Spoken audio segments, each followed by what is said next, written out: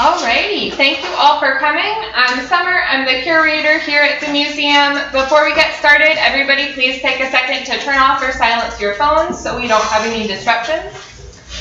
Um, so our main announcement is we have been working with the city and Peck Alumni Association for about a year um, to create a permanent exhibit about the history of Peck High School. Um, and it'll be opening at the Peck Center. So the grand opening will be on August 13th. It'll be open to the public from 2 to 5. So we hope to see you all there for that. Um, and then our upcoming programs here. Our August 3rd on 3rd on the 19th will be with Calvin Bryant, who will speak about Jean Ribault, one of the early French settlers here.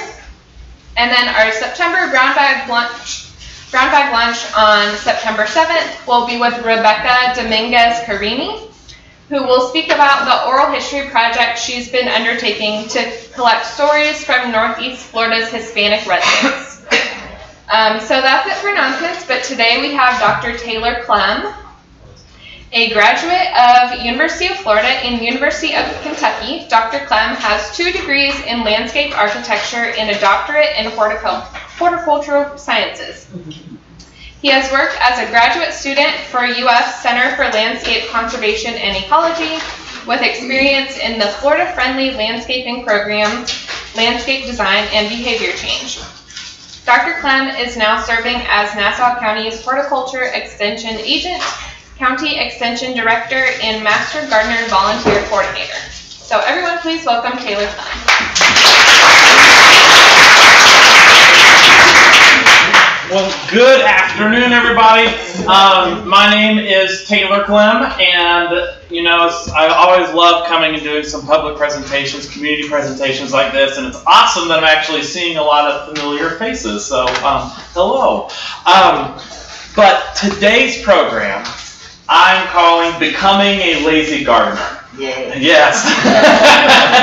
so, and you know, the, this kind of started from I started using the term lazy gardener because it's like you know when you look at your landscape and you're looking at your garden, your goal isn't to look at all your to dos, right?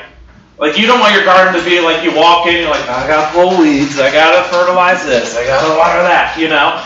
You want your garden to be something that you enjoy more and work less. You know, usually, you know, when I'm helping do designs for communities or I've helped with homeowners, you know, it doesn't matter what kind of project I'm designing. The big key takeaway from every single project, when you ask clients, what do you want to achieve in your garden? You know what the two things they always say are?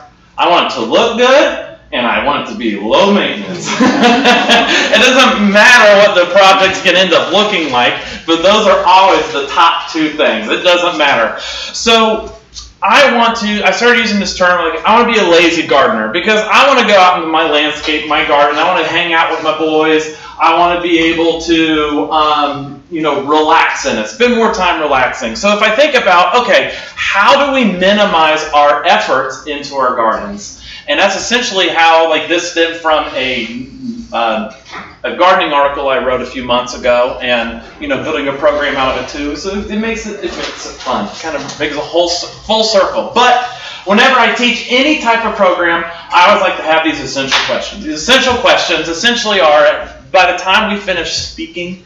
Um, today, you should be able to comfortably answer these two questions. So we'll, we'll wrap back around to these at the end nonetheless. So these essential questions are, what are planning strategies for preparing our landscapes? Preparing. And then how do we overlove our landscapes? So it's like, overloving. Taylor, what does that mean? so we'll talk a lot about that. But ultimately, it comes down to. Ah, there we go. Preparing and planning. And then maintenance.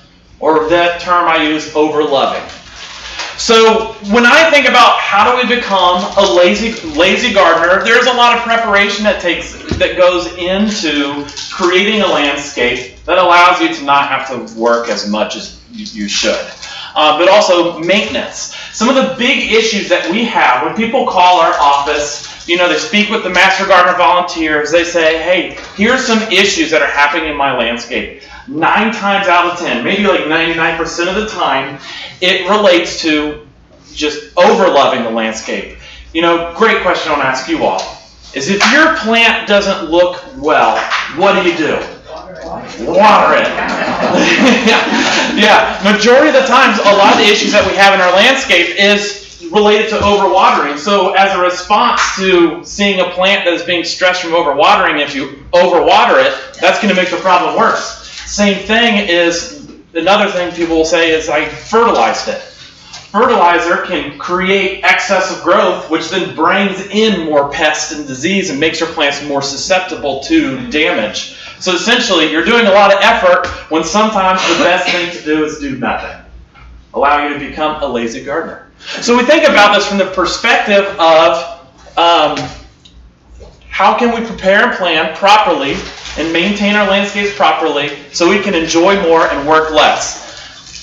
And that kind of like starts to fall into this what is a sustainable landscape? So a sustainable landscape is a landscape that both has its social, economic, and environmental benefits. So a social benefit would be something like it looks good, the neighbors like it, you know, I like it, it's fun.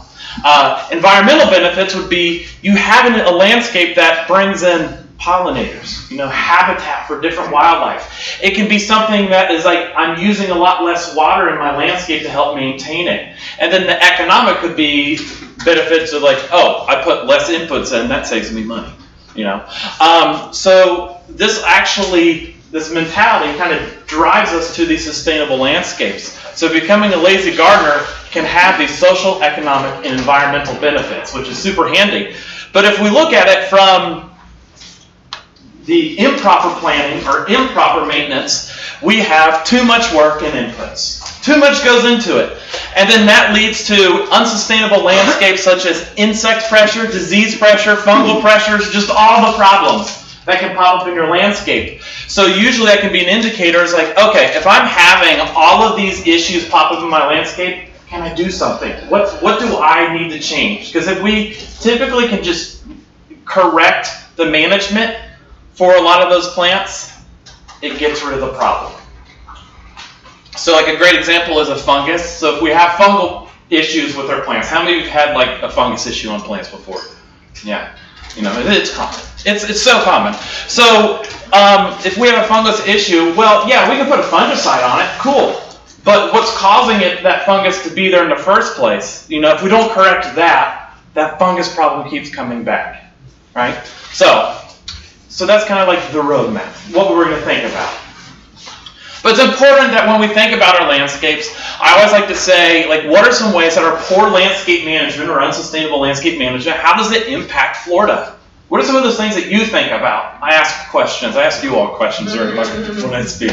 Too much nitrogen. Too much nitrogen, but what does that what, what what does that lead to? Your algae blooms. Algal blooms. Yeah, yeah. Our landscapes are contributors of that. Nitrogen and phosphorus. Those big two, first two numbers on our fertilizer bags. You know, there's like three big numbers on our fertilizer bags NPK, nitrogen, and phosphorus are big contributors to algal blooms. And phosphorus, there's never a reason to apply that in Florida because we have so much phosphorus in our soils that pretty much if you apply any, you're losing all of that and that's going right into our water bodies. So, what were some other ways? What about bringing in non-natives? Non-natives, it depends. So with wildlife and habitat fragmentation, having uh, native plant species can help reconnect fragmented landscapes where the non-native plants do not have that capacity to completely do so. Um, now, of course, invasive species, that's a whole other area. No invasive species at all. So, So invasive take over, obviously, but I thought they were mostly non-native. all invasive species are non-native, but not all non-native species are invasive. Oh, So an invasive species, yeah, very good question. An invasive species is a specific plant, they're going to be non-native, that come into the landscape and they displace our natural areas, destroy those natural areas. Where there's a lot of non-native plants that grow that we use ornamentally that do not do that. Um, and they have value, especially if we, we have highly disturbed landscapes. Sometimes those non-natives will actually establish and do better than the not natives would. But if we have a natural area that we were, we're able to get some of those native plants established, then that has higher value. But great question. So there are nuisances that are native species, but they're not invasive. Yes, ma'am. Beyond our control, too much water, Yeah. rain, which. Yeah. That's what created my- So I mean, a great thing, and we'll talk about this, is our prime growing season for our landscapes is when? The growing season. Spring, now. It's our spring now. And conveniently, what happens this time of year? Rain. It's our rainy season. So it's actually, it's rare, honestly, that you should be irrigating your landscapes at all. University of Florida, our recommendation is to turn your irrigation system completely off. Don't even run it, and I'll talk about that more. I don't want to, get too far ahead, but these are really good things because when we think about poor landscape management, we're always concerned about pollutants.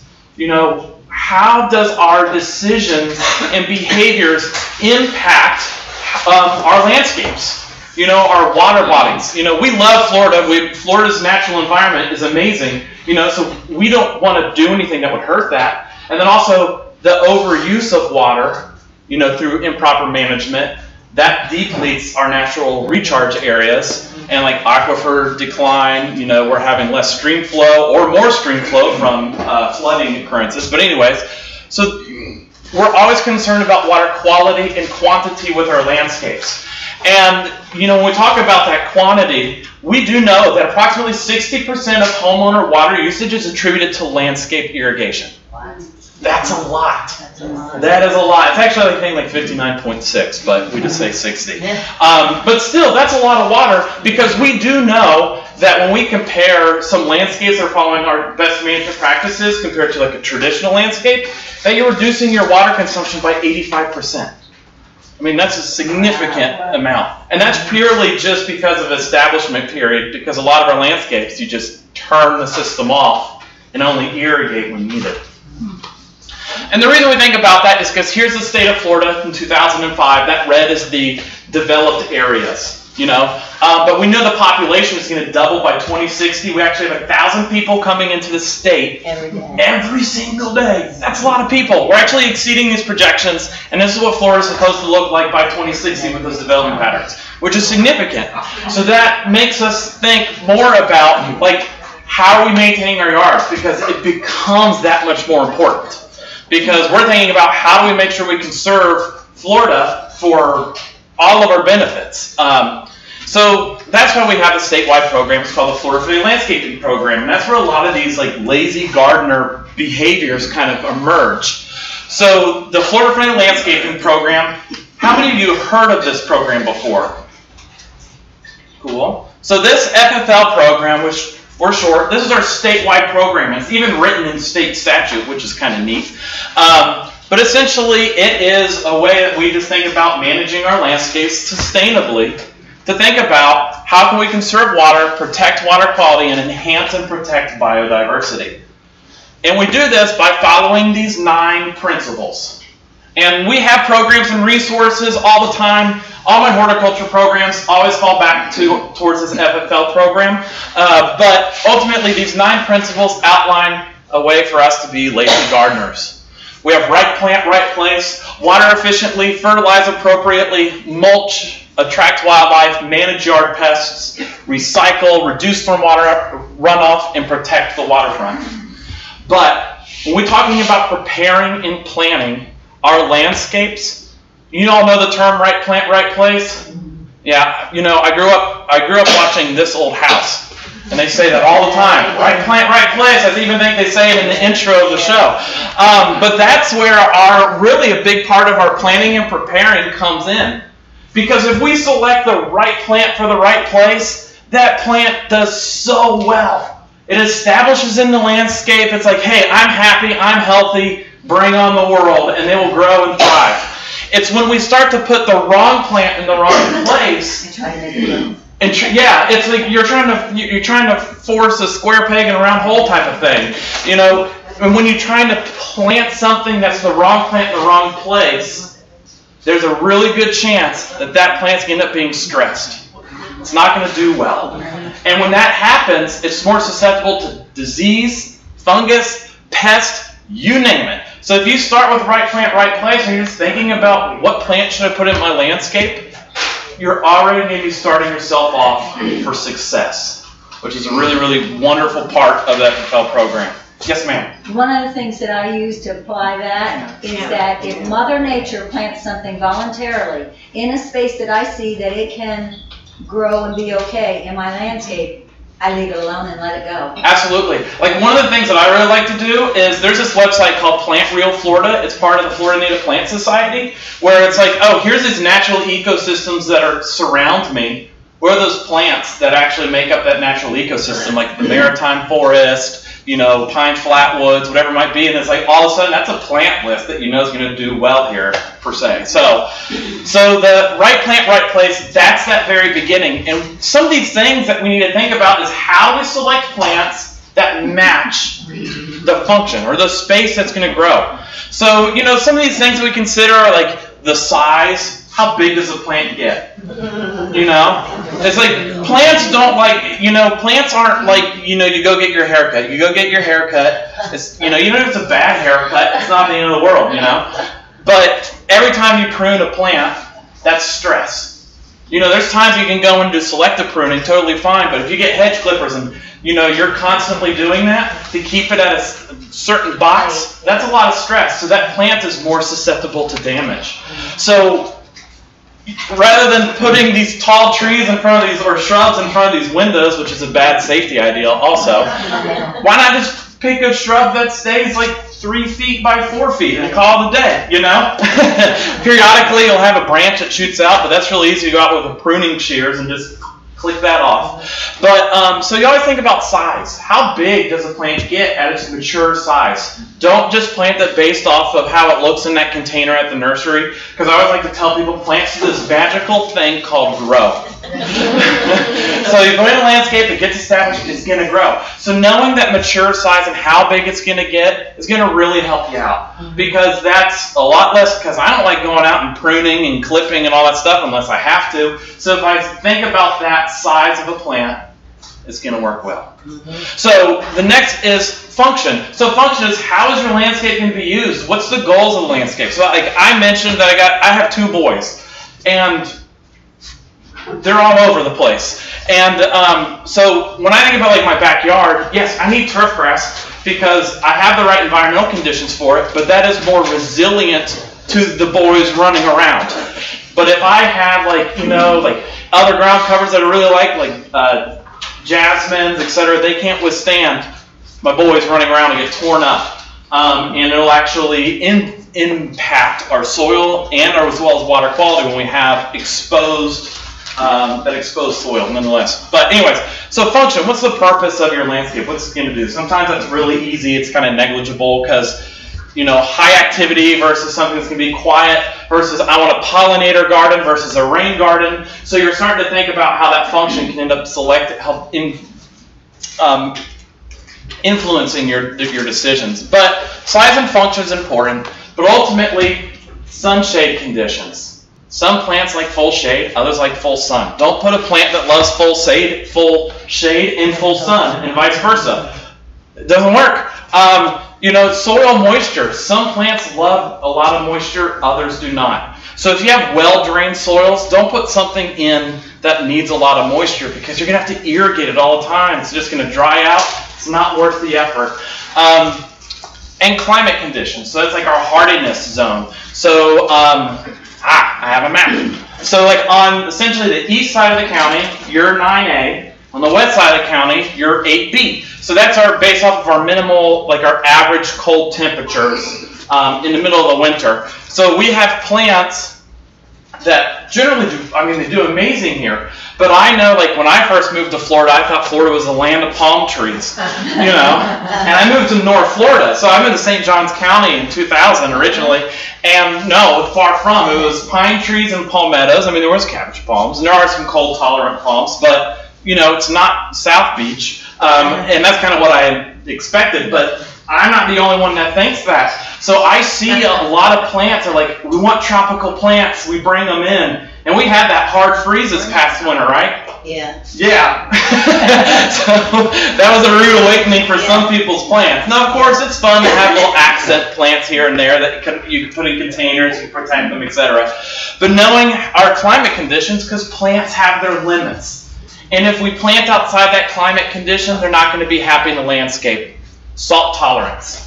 Obviously, if you're on the west side of the county, you can plant whatever you want when it comes to salt tolerance. Now, if you're living here on Amelia Island or close closer to any like the brackish water, the ocean, you need to think about salt tolerance. Plants have certain levels of salt tolerance, high tolerance and low tolerance, um, and salt can kill plants quicker than you can blink an eye at.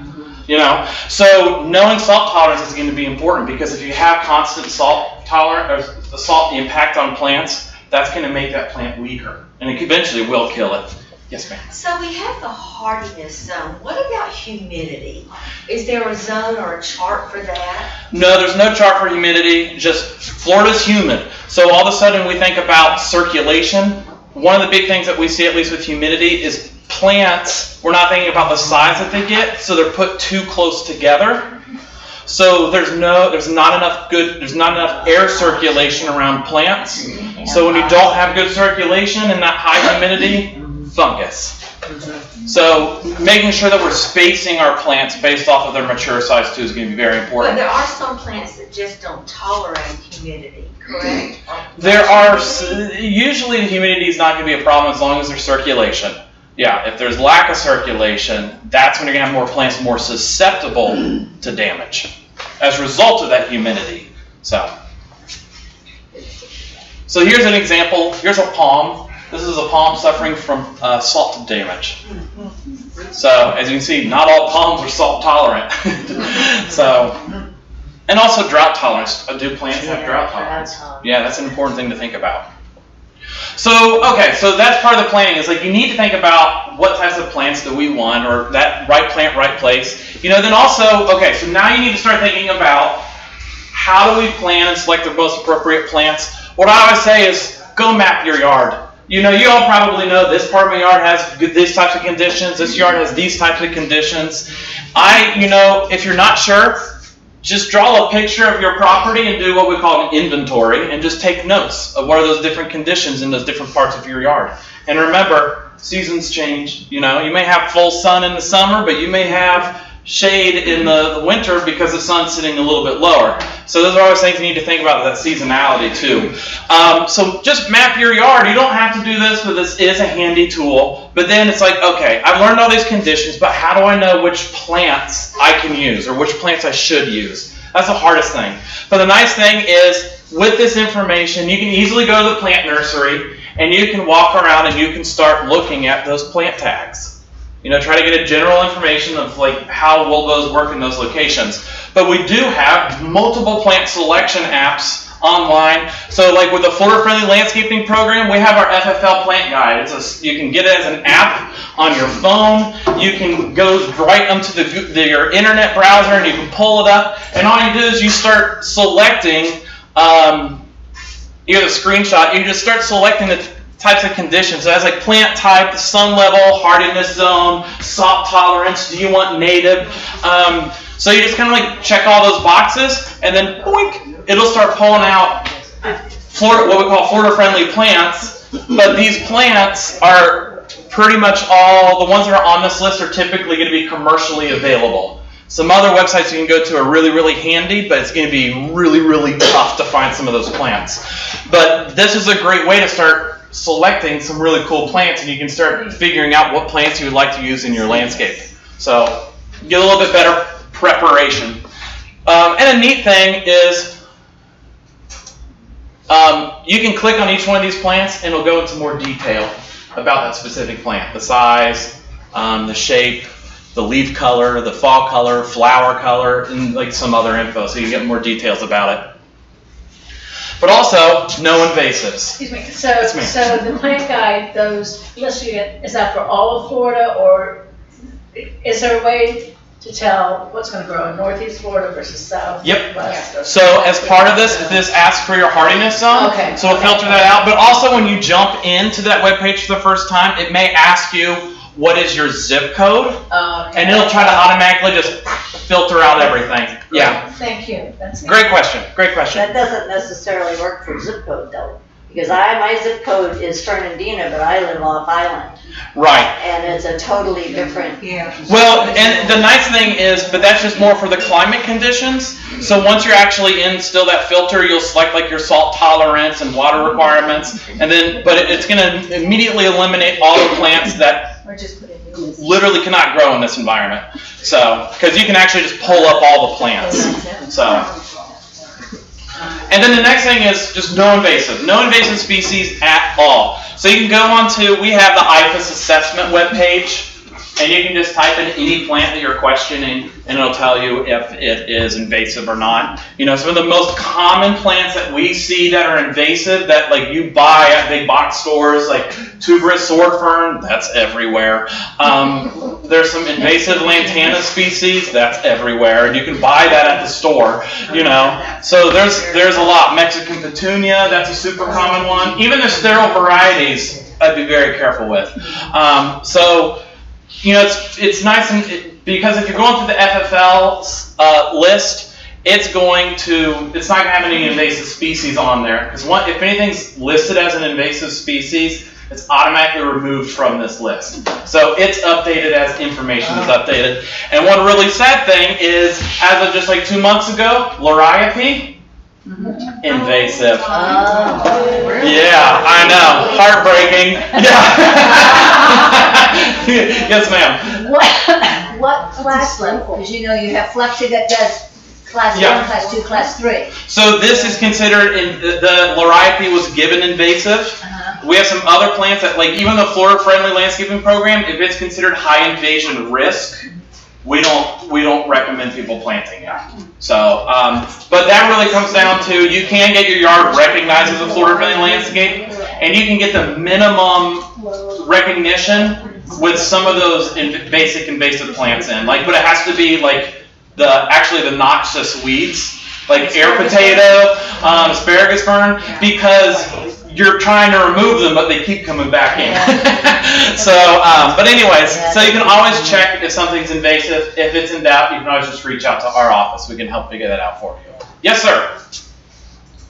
Moving into a, uh, a new community, normally they put stuff in. Yeah, that's a good term to put. Just stuff. How much research was done by the guys that are putting it in? I mean, it's, it's pretty quick. Minimum to yeah. So how much work goes into that plant selection for new developments? Yeah. Minimum. So because it's the code, the meet code requirements, and code requirements are minimum. Um, so usually because of how many homes that they're doing, they go to whoever wholesaler they can get all those plants from. Now, you know, it's really cool that like the home that I ended up moving into, they actually have a really nice plant palette, but they planted them too close together. They're too close to the house. You know, they're not thinking about. It's like an instant gratification. Like you throw plants in super close, it looks really nice, but oh lord, five years down the road. Oh, yeah. So this October, a lot of that's going. Um, Yeah. But anyways, so but Curb appeal. yeah, curb appeal, and sometimes some of those people making those plant decisions with those, some of those developers may not even be from this area. They could be from halfway across the United States. Mm-hmm. So they're making that decision off of minimum effort, minimum knowledge. One of the things with the Florida Friendly Landscaping Program, it's for residential programming. We also have commercial programming, so people that need licensing, like your Moblo Go guys, fertilizers, we have specific programs that they have to go through to maintain their licensing. As well, we're developing programs right now for developers and builders. So that's because we know that that's a, that's a missing piece of our puzzle. So yeah, it's a key part. But anyways, so we talked about planning and preparing. I gotta make sure we stay on track, you know. Um, but nonetheless, planning and preparing. If you start with right plant, right place, you think about those considerations. You know, even if you're stuck with a new landscape that you had no decision in, it gives you the tool to think, how do I start making these changes? You know, do I, as things phase out, what do, what, it, it gives you those tools to prepare, those little nuggets, those like little changes that you can make over time. So that's the preparing and planning. So like you did it. You know, woo! You plan for a more sustainable landscape that'll require less work. Because if you just start planning now, there's a lot less work that goes inside it inside it. But now what? So that's where we start thinking about maintaining. Because yes, no matter how hard you try, you're still going to have to maintain it. Regardless, there's no zero maintenance landscape unless you live in the wilderness, which would actually be kind of cool. But um, but anyways, for like a typical residential areas, if you have a landscaped yard, it's going to have to be maintained to some capacity. So this comes back to the question we, we earlier. I said, if your landscape is looking bad, what do you do? And that's when you all mentioned, oh, it's like a water. You know, looks bad, I'll put water down. Looks stressed. You know, or I'll put down some nutrients. I'll put down some pesticides. But actually, these are what I call the landscaping faux pas, um, because these are a result. A lot of the problems that we have in our landscapes results from that over loving our landscape. It's part of that maintaining our landscapes. So when we put too much water, excessive nutrients down, like fertilizers, uh, or we're using too much pesticides, then what ends up happening is it leads to weaker, less resilient, less protected plants. And those are just that just results in distressed plants overall. And when that happens, I always like to joke, it's like you might as well have a big neon sign flashing like all you can eat buffet over your plants. Because insects know. The pests know. That if all of a sudden there's like I see a stressed plant, bam, that's where they're gonna be. Because guess what? If you have St. Augustine grass, you're always gonna have chinch bugs. They're always gonna be there. So, you know, if someone comes knocking your door and say you have chinch bugs, you need to spray. No, you know, you're always, you're always going to have chinch bugs, but it's just a matter of are they problematic? Because if you have a healthy turf grass stand, chinch bug problem is not going to get to that population threshold where it becomes a problem. You know, same thing is like, you know, but if you maintain those plants correctly, not just turf grass, all plants, then the plants are going to be less stressed. They're going to be happy, healthy, they'll be resilient, they'll be able to withstand a lot of pressure, so that requires less inputs from you. I saw two hands. You first. Um, are we gonna Yes. do lawn at all, or is it just plants? This is kind of uh, this all relates to the same. So this all these all these this talking points is both ornamental plants and lawn. Same rules apply. So, but at the end we can have Get gravel pit, okay. so we can we can do uh, specific questions at the end for, Okay, for lawn. sure. Yeah. Yes, ma'am. Maybe this should wait till the end. Um, fertilizer, what kind and when? Uh, we've heard so many things in the garden. It depends on the plant. Yeah. So we can talk specific. We'll do specific questions at the end for fertilizers, nutrients. Yeah. So, ultimately, a stressed plant is an unhappy plant. So an unhappy plant attracts all pests and all the damage and everything. And that relates typically for overwatering, over fertilizing, using excessive pesticides. That's where we're seeing those problems really pop up and really flourish. So talking about watering and irrigation. So irrigation systems are a tool when rainfall isn't adequate. There's a lot of times when like there's you know people hate the idea of irrigation systems. And it's like, I get it. It's not the irrigation system's fault, though. It's a behavior problem. And that's because people overwater. You know, of course, yeah, you can go out with a hose, no problem, and it's not a big deal. But think about an irrigation system as a tool. When, when rainfall is not adequate and your plants are showing signs of stress, drought stress, that's when your irrigation system can be handy because it's an easy way to deliver water to your landscape. Properly selected plants can go a long, like shrubs, can go a long, long, long, long, long time without a drop of water, whether it be from rainfall or irrigation.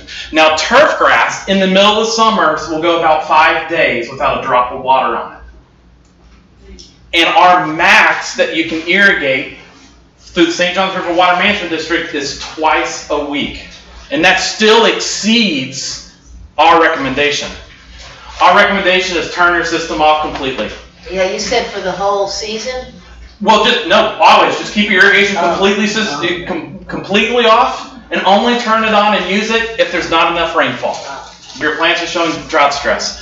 So, um, and every time you do apply, you need, it's not a time that you apply; it's an amount. You want to put down a half inch to three quarters of an inch, whether you're coming out with a hose and putting that down, or if you're running your irrigation system. Um, some trees, you're gonna probably wanna add like two gallons per inch of caliper, but usually that half inch to three quarter of an inch per application is the ideal range. So if you're not sure how much water that is or how long to run your system, how many of your cat owners? You have cat food cans? Or tuna cans? Those- Yeah, I mean, yeah. So those cans are wonderful. You just put those out in your, la- your yard, you run your system for 10 minutes, and you see how much water fills up those cans, and then you adjust your system accordingly to make sure you're getting that half to three quarter inch. So it's you're just putting out weight. We call it a, cap, a catch can test, and we actually recommend people do that annually as part of maintenance for irrigation systems. But ul- ultimately, keep your system off. Only apply when plants show signs of drought stress. Max twice a week, or you can always just hand water as needed. For certain plants, like, hey, that plant is drought stressed. Should I run my entire system for that? No, just get a hose. it works out, and the plant will be a happy camper. Because what ends up happening, if we overwater our plants, both turf grass and our shrubs, our ornamentals, if we're watering it too much, it's like you're feeding your child candy all the time. The roots get shorter and shorter and shorter and shorter and shorter on those plants. And it makes that plant less resilient. Because it's not having to try as hard. You know? It's like, ah, the water's right there, and actually you're actually making the roots rot. But um, it's not having to try as hard. But if you push those plants to the edge of drought, what do you think is going to happen? Roots go deeper. Roots go deeper. They go looking. Yeah. So all of a sudden, drought happens. No rain. You got deep roots. And your plants are able to grab as much moisture as they can. Mm-hmm. More resilient. You make your roots, your roots happy, your plants are happy. So, irrigation, huge problems that we have within our turf grass and our ornamentals is fungus. And that is brought on by irrigation. Define turf grass. Turf grass, just like St. Augustine, zoysia grass, yeah. So nutrition and fertilizer. Always follow UF IFAS recommendations for turf grass. So it depends on the species, but like St. Augustine grass, you can get by with just two applications of fertilizer throughout the growing season. Bahia grass and centipede, Bahia grass and centipede can get by with one application throughout the year. You know, some might require more, like Bermuda needs a little bit more. Um, but follow our IFAS recommendations because those are based off of our research that we've been running continuously for like 35 years on nutrient uptake efficiency. Um, fertilize only if you see signs of nutrient deficiencies. So nutrient deficiencies is typically like your leaves are going to start discoloring in really weird ways. And it's typically like symmetrical patterns that you see. Um, and you know, you can always reach out to us like, hey, here's my leaves. What's what am I deficient in? Or you know, we see it all the time in citrus and palms. Palms are always nutrition, like potassium specifically. They're always deficient in something. Um, and citrus as well because they're high consumers of nutrients in order to produce the fruit. So, but most of our other shrubs and landscape plants that we have in our landscape seldomly show nutrition deficiencies. Um, but there are ways to make sure you're fertilizing to make sure they stay healthy for not necessarily healthy, but to make them high your quality plants. Like a good example is a rose. You know, there's a lot of work that can go into a rose if you want to make it a high quality rose.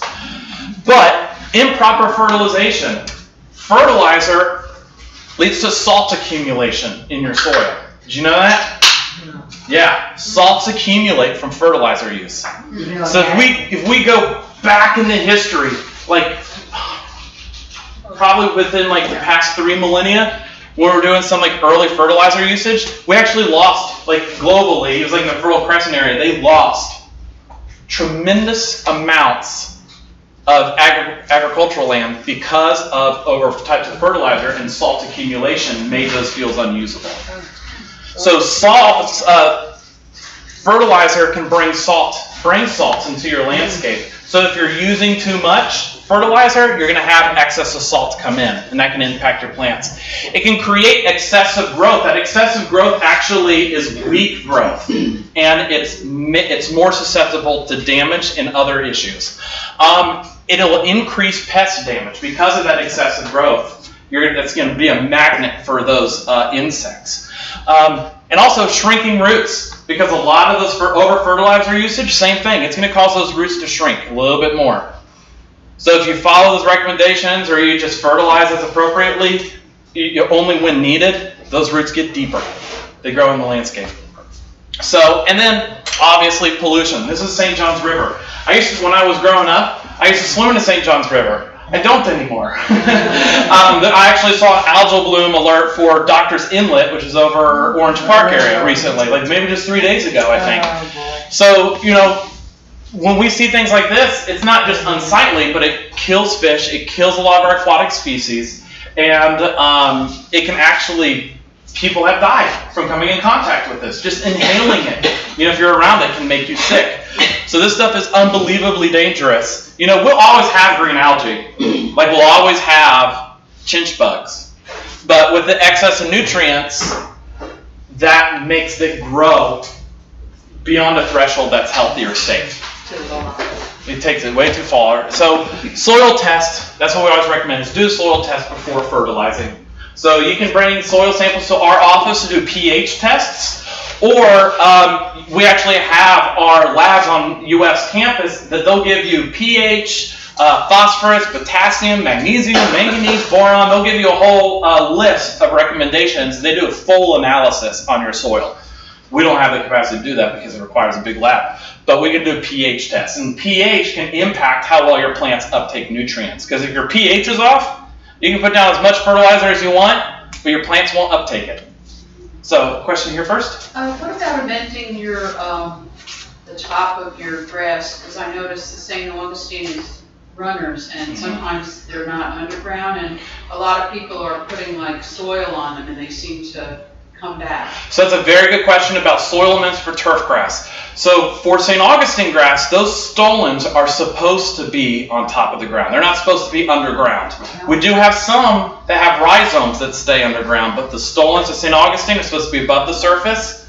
Um, we are doing some research about compost amendments with turf grass to see how that works in a landscape, and it's some really, really cool results about building turf grass health because you're bringing organic matter in, and that organic matter helps with hold on to those nutrients. It helps with the soil moisture content because of our, you know, if you're on the island, you usually have a pH, high pH, uh, because of the sand and shells, etc. Um, but it helps buffer that soil, allow for nutrient uptake. It helps hold on to those nutrients and that moisture much better. Organic material in your soil is the most important part of the landscape. But So um, layering on top, those runners, you layer. so they're not necessarily. Um, Underneath the root. so what they're doing as part of top dressing that is they actually aerate. So they're creating all those little holes, and then they come back and just spread compost over it. So- No, no, no, the runner that we were talking. Oh, the runners. Yeah, they just stay on the surface. Well, it's coming over to my concrete, so I want more with the bare spots, Mm-hmm. can. Yeah, you can redirect them, or you can just cut it and just Plant. it. On, a plant, okay. Yeah. I'm sticking it underneath one of the other, okay. Yeah, because you'll, what you'll notice Lay is on top. with that St. Augustine grass specifically, um, it'll shoot out the roots at each one of those little nodes along that uh, stolon. So if you just transplant that that little runner that's stolen and it has those roots, it should it That's a should take. transplant. You just can't shove it up in there. If you can redirect it and get it there, but yeah. Um, but anyways, soil soil testing is going to be key. Soil test before you do any type of fertilizer because it's not going to be worth it to you to put down any nutrients that are not needed. You know, because anything you put down is lost. It's not needed as an input. So don't just put something down to put something down, especially when it's not needed. So you can always do a soil test to determine. But the great thing, at least about the ornamental plants, is they'll just tell you when they need it. Really, you don't need to fertilize ornamental trees. I know people ask me about that. Like no, because those root systems are so large that more than likely they're underneath your turf grass areas that you might be fertilizing anyways. That they're picking up nutrients from all over the place. So um, you know, don't bag your clippings just let them lie. That breaks down and takes those nutrients back into the soil. So I think you have one question. Yeah, mine is about your commercial, you know, like your bug out, your TruGreens, your Mhm. whatever. It's a question my husband and I have going back and forth because I'm sure like we don't need to do a lot of that stuff. Um, does Florida have uh, any criteria for like when you have your lawn companies servicing every month, doing whatever, about how much they can, fertilizer and things that they can put down. Because it seems like when I look at the thing, it says, well, we're treating today, we're fertilizing, we're doing for bugs, we're doing for this, and I'm going, every month you're doing that? You know? So there, there is nothing in state statute that requires how they apply it. But what we recommend is still those best management practices. So I know there are some contractors that do amazing with it, and others it's really about, as an informed consumer, how can we make sure that we're asking those right questions of anybody that we hire to make sure that they're following those best management practices? Because sometimes those inputs create the problems that then some of those companies have to come back and fix. So self-serving sometimes, but not always, not always, of course. So that's really important about like what are those correct questions, and we actually have a publication with the University of Florida about like how homeowners can work with those contractors or those companies Oh, good. ask those right questions. So. the pesticide usage, because we have companies that come in and just put down pesticide use. So we always recommend integrated pest management. You're always going to have bugs. You will never have a bug-free lawn. How many of the insects in your yard, like percent-wise, or in Florida, how many are percent-wise? How many are considered a pest? Ballpark some numbers. There's there's some. None, none, none. But good try though. Ten percent Fire ants. fire ants. Yeah. Yeah, they're invasive. Yeah. Say it again. Mosquitoes. Mosquitoes. Oh yeah. But they're pollinators. With the poll- they are pollinators. They're important pollinators. But what's that percentage? I had a zero percent. Twenty-five. Twenty-five. Fifty. Fifty. Do it here. Is that right? Right. You want me to come out? Yeah. so um, actually, zero percent is, is the- really close. It's like yeah, maybe like two percent, maybe. You know, that's like if you're pushing it. And so we've put a lot of work in our landscapes for a small percent of pests because majority of them are beneficial. Those beneficial insects predate or eat, gobble up those bad insects, like ladybug, Yeah. Ladybugs love aphids. Mm-hmm. Yeah, so why treat your plants with systemic insecticides when you got Yeah. insects that are going to do it? Because you put down systemics, guess what happens? You're killing that guy too. You know, you kill you kill your bees, you kill your pollinators. So we really think about integrated pest management, and the best way to control pests in your landscape is just to. The first step is cultural controls. It's like is it the right plant, the right place? Am I overloving my landscape? Really? So if you're just maintaining your yard appropriately, is the right plant in the right place? All of a sudden your insect pressure is going to go down dramatically. Um, and that's not just insects, but it's all pests. So fungus, pathogen, whatever it is. Um, weeds that can pop up. So I always recommend like scout regularly. You know, catch a problem before it becomes an issue. So if you walk around your landscape, you're like, oh, there's you know, like I, you've probably seen it before. There's the aphids are like mealy bugs on a plant. You know, you know what I do? I just squish Yeah, them. you know, I think one of the like the most effective uh, pest control devices that you have is your shoe. You know, just squish them. Um, so scout regularly because if you notice the pest before it becomes a problem, if you could just maintain it that way, there's very little chance that you're gonna ever have to use an insecticide. what are the- Insecticide is last ditch effort if you're doing Yeah. everything right. You can't control it manually. There's no biological control. Then yes, there's times when insecticides become important because what happens is we get in a pesticide dependency. Like, you know, sometimes like a drug, like an addiction. So you put down a pesticide and it ends up killing the problem pest as well as the beneficials. But guess what rebounds quicker? The pest. Yeah, and if you put that same thing down again, it's not going to work as well. You're going to kill all the beneficials, but the pests are still going to be there. They start creating a, resi- a tolerance, a resistance. Yeah. So then all of a sudden it's like all your good bugs are dead and you have like invincible pests.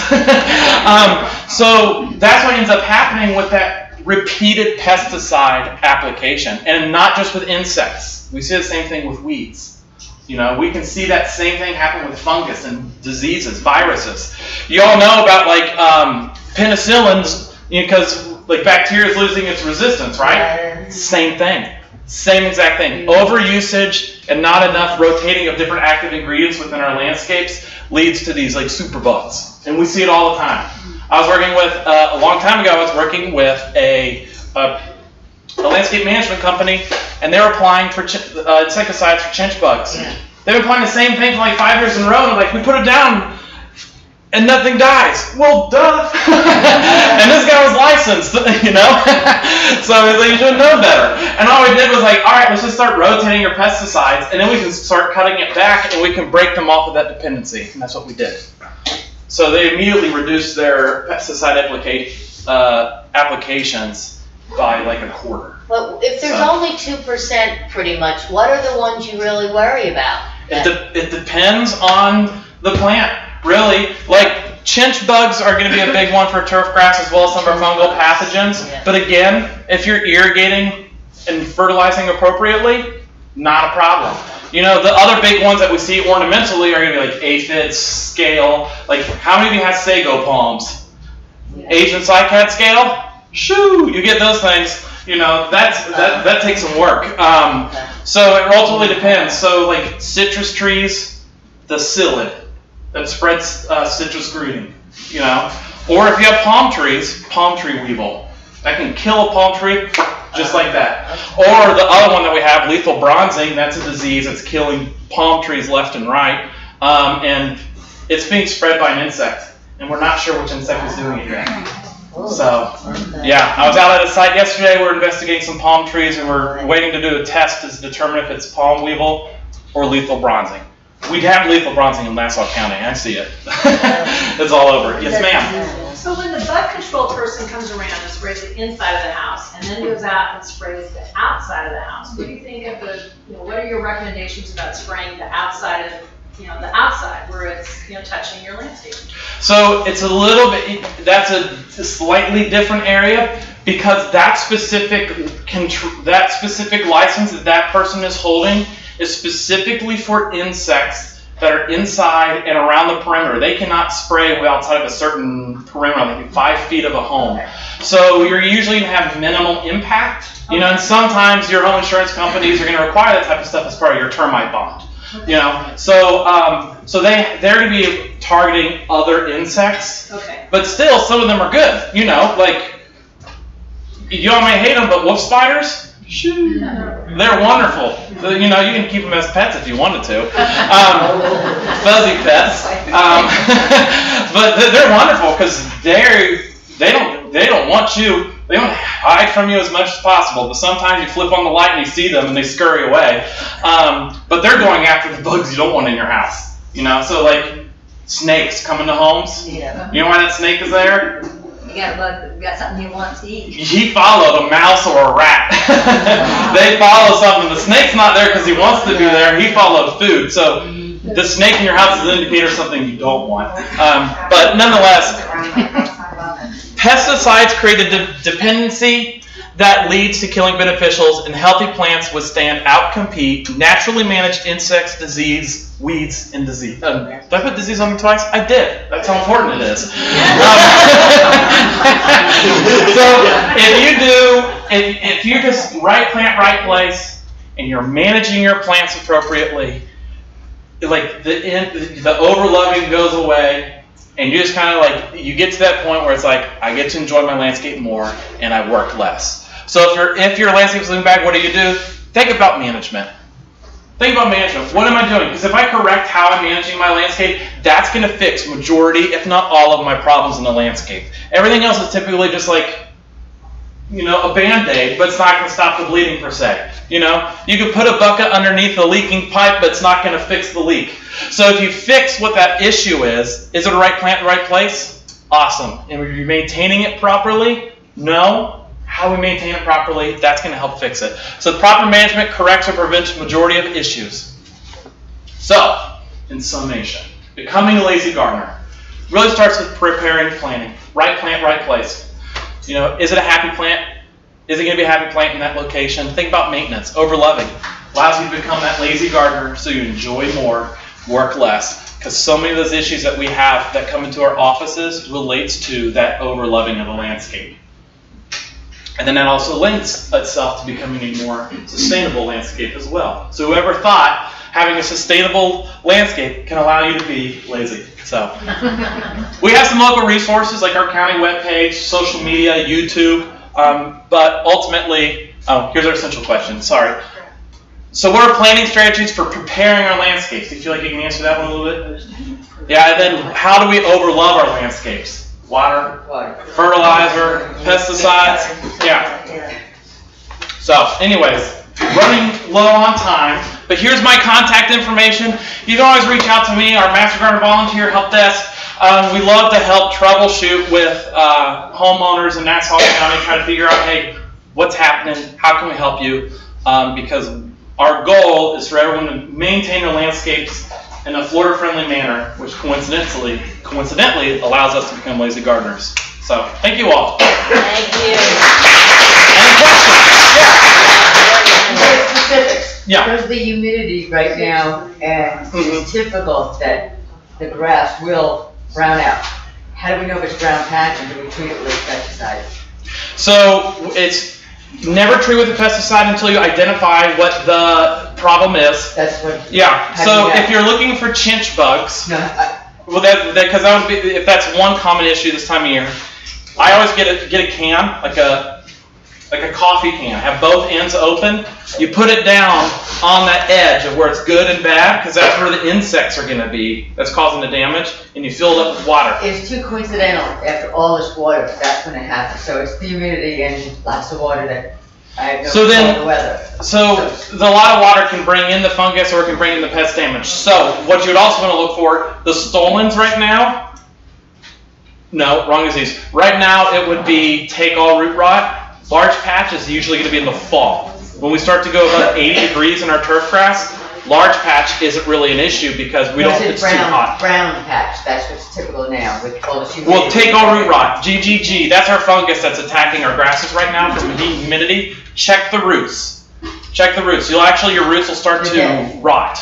And if they're rotting Yes, and they're short and just nothing, you can actually put your fingers on them and kind of pull them apart, and they just kind of crumble. yeah. That's take all root rot. So there's uh, specific fungicides that you can use to try to treat that. But then you only need to apply it right where that's happening because it's not active anywhere else. If I showed it to you after can I? Yeah, I can take a quick look at it. Yeah. mhm. And what's it called? It's not called brown patch, it's called what? Take all root rot. Yeah. That large patch, brown patch, that is a uh, fall and winter disease for turf grass.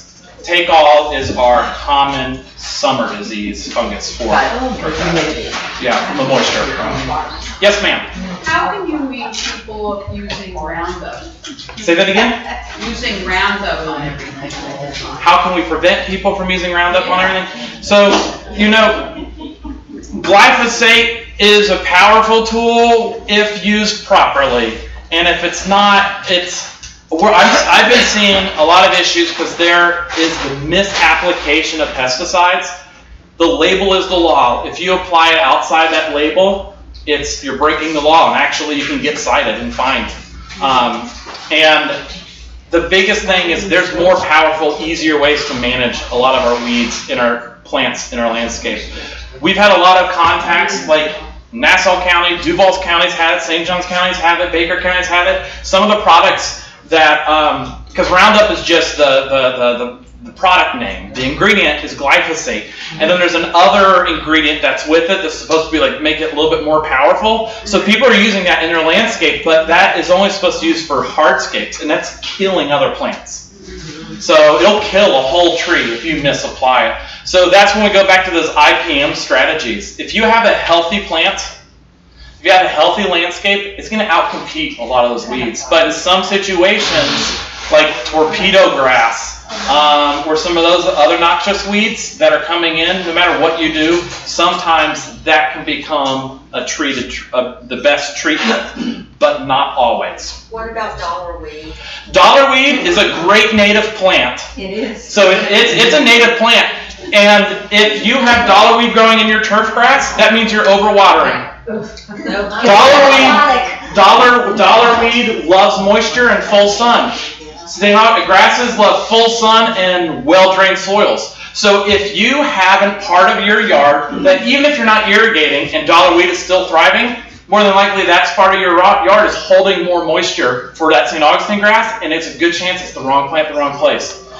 Dollarweed and St. Augustine do not thrive together. They are count like um, I haven't ran my I ran my irrigation system uh, just two days ago, first time in like a month and a half, and my neighbor, not my neighbor, yeah, he has dollarweed, and it stops at our property line. so, um, but um, but usually, but I have a part of my backyard where the dollar weed is just growing, despite me not irrigating, and just that's I've noticed that when it rains, that part of the yard just does not drain well, holds moisture much long, doesn't hold moisture or holds moisture a lot longer. So St. Augustine's never going to thrive there until unless I do a significant amount of amendments. But I, I'm not going to do that. I'll just let it. I'll just let it go because there's actually, you know, Dollarweed's natives is actually very beneficial. So it is pretty. Yeah. I made a log garden out of an area, because our backyard slopes down, we're in a development. When they built the house behind us, they built it higher, Mm-hmm. and so all their runoff comes down to my runoff. Yeah. And that's that area in between the two, uh, storm drains. Mm-hmm. And I thought, well, we can either truck in a bunch of fill, or I could turn it into a bo- a native clog garden and leave it alone. And it's. Just let it be. And Yeah. it's given me that one, the volunteers I got with the red maples, you know, I Mhm. planted, I didn't plant it. Yeah. I've gotten a lot of things I haven't planted, but roads and Mother Nature put them, and I have a nice little bog garden back there, and I don't do anything. Yeah, I've actually worked with a community in the past where same thing, they have a big area where like all their water like would be conveyed through swales.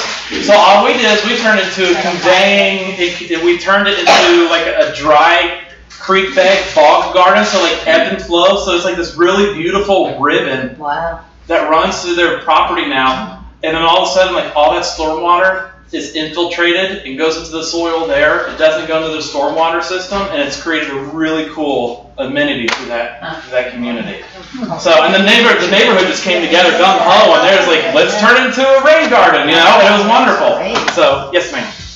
This is the third year it had my climb, and it's done really, really well. This year's thrived. Mm. So, um, so with key lime, just like any of our citrus, is it in container or is it in ground? Ground. Okay. So, um, what I have noticed that citrus is a very high consumer of nutrients. So they're making sure that you're fertilizing the appropriate amount and the frequency is going to be very important for all citrus. And I have found that the directions on a lot of those fertilizer bags for citrus Yeah. under fertilizes a lot of citrus. Ah. Yeah. So citrus gobbles up a lot of nutrients in order to be productive. The And then also, About eight feet away is doing fine. That's my grass how, how long has that one been in the ground? same amount. Same amount of time. So one other concern is micronutrient usage. So for citrus trees, micronutrients is always going to be, yeah, you can get a liquid spray that you put on the leaves. That's going to be very beneficial for your citrus, um, especially because of citrus greening. Is that the iron? Um, no, uh, iron is one, but the citrus micronutritional spray is like all the micronutrients specifically for citrus. So magnesium, manganese, boron, there's some sulfur in it, um, some iron. And we have found actually that if your tree has citrus greening, which we have all over Nassau County, the old recommendation is cut down the trees if they have citrus greening. But we don't need to do that anymore because if you, we've discovered that if we make sure we triple that amount of micronutrition that we put onto our citrus trees, allows the tree to be happy, healthy, and productive. Can you get that garden center? Oh yeah, it's very common. Common. Like there's a couple garden centers. I was like, you need to put this, this nutrition spray, and like that fertilizer bag next to one another because our recommendation is buy both. Um, you need both for the citrus. You know, at minimum, you need to put it on at least once a year. But because of citrus greening, I just go ahead and say recommend three times a year and fertilizing through the growing season, March through September. So if it's been in the ground for at least four years, it's always, I always remember three, six, nine, March, June, September. But if it's like three years, you're having to do it four times a growing season. But it, before that, you know, five times, six times. So you're spoon feeding it when it's younger, but more frequent. The older it gets, it drops down to three times a year, but you're applying like upwards of seven pounds of fertilizer per application. Wow. Yeah, yeah, yeah. Those trees go. That's not, that's not It's not what the back says. So you can actually look up our IFAS recommendations for citrus fertilizer, and it has a calendar on there. But you can also reach out to me, and I can just send it out. It's a it's a one of our most common publications that we send out. Yeah. Yes, ma'am. How accurate do you think those apps are, where you can hold your phone up and they'll identify a plant and identify the problem? Eh. So those apps are really powerful tools to help. Like I like to use some of those those plant ID apps to kind of help get me to maybe a genus, get me closer to the ID because it's like okay, I know kind of know where I'm looking, but the accuracy is me. Um, they are getting improved, but the taking the ones where you're taking a photo of it and tell you what the problem is and how to fix it, don't do it. No, no, because there's there's no way you can't diagnose a plant from a photo. Now I can look at a plant and say that looks like Cercospora, but you know, but ultimately there's different ways that you can manage that. Is it a fungicide? Is it just you're watering it too much? Because a photo can't tell you point your pop-up rotors away from your, your tree, you know, or your shrubs. Um, so those apps, uh, I don't trust them. So of course I haven't messed with them that much, but to me it just seems like snake oil. So, but the ID can be a handy tool to kind of get you in the right direction. Mhm. Yes, ma'am. Do you- What do you recommend for moles? Moles? Ah, so moles, they are a red herring. That's a good way to put a mole. A mole is a red herring. Moles can actually be very beneficial because they actually aerate your soil. So they can help. They can help with uh, soil compaction. But you know why that mole is there? Because you got grubs. Yeah. The grubs are going to be the ones that are calling the, causing the problem. So if you have a healthy grass or a healthy landscape, sometimes it just happens. The moles will go away because if the food, the grubs aren't there, moles. So you can you can catch them, track them, kill them, whatever, but that doesn't fix the problem why why they are there. so usually it's a grub problem that you're having in your landscape that needs to be addressed. So and then they just go away. But there's actually benefits of having them there. You know, you just gotta walk on their holes, you know, to flatten it out a little bit. So. Taylor, we just have time for one more. One more question afterwards, and I think I saw a hand back actually pop. Did you have a question? Yeah, I had a question when you were talking about citrus. You- It sounded like you were saying the problem was um, citrus greening. Yes. And what does, how would I know if I have it on my page? Citrus greening um, will rear its head in multiple ways. So the most common way to tell if you have citrus greening is to look at the leaf, the discoloration of the leaf.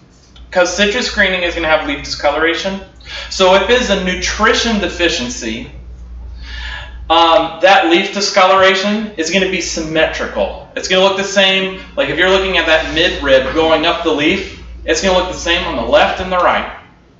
If it's asymmetrical, where the right side doesn't look like the left side at all, like the pattern's completely irregular, that's a good sign of citrus greening. A very good sign of citrus greening. Other ones is like the, the fruit may not develop all the way, the bottom of it might stay green, or it might be oblong shape compared to usual. But the leaf discoloration is usually the best indicator of if you have citrus greening or not. You can send samples in to get tested, but I just kind of just assume you have it and just manage appropriately. So, because the reason we used to do the testing is our old recommendation was to cut down the tree, and you don't want to cut down the tree unless you have to, and that was purely to prevent the spread. But it's all over now. So, um, but anyways, I know that's all we have time for questions. But afterwards, you know, I'll hang around if you'll have any questions. So, thank you all um, for joining. I really appreciate it. Thank you all for coming. It's good. It seems